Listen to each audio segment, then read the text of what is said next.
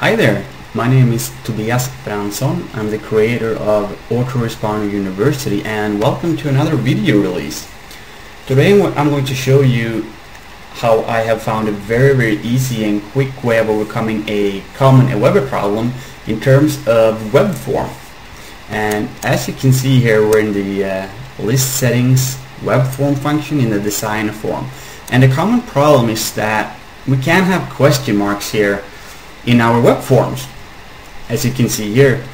And I found a quick workaround to this but first let me show you what happens when we try to uh, enter a question here with a um, with a question mark. I'm gonna click add and then Aweber is gonna give its uh, error message stating that we've used an invalid characters now I took this up with um, Aweber customer service this morning and they didn't have any easy workaround solution to this. So given the amount of dedication and great work that they're doing, they helped me on numerous occasions. I thought, you know, why don't I try to figure this out for myself and then get back to them and of course share it with you all.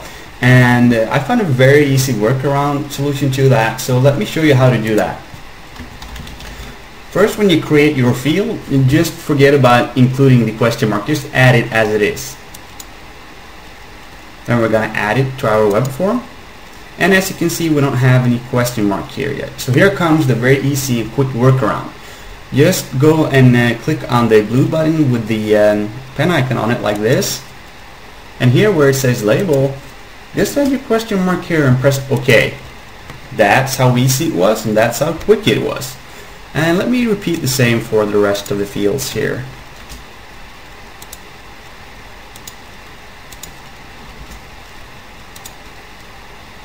There. Very quick very easy very efficient to do.